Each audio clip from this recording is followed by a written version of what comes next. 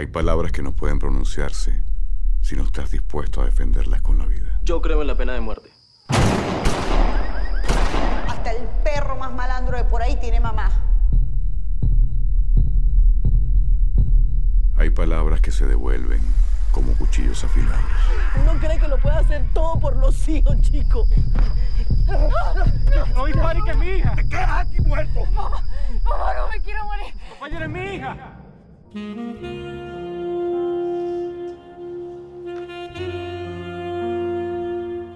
Una guerra moral, si actúas como el enemigo, eres el enemigo.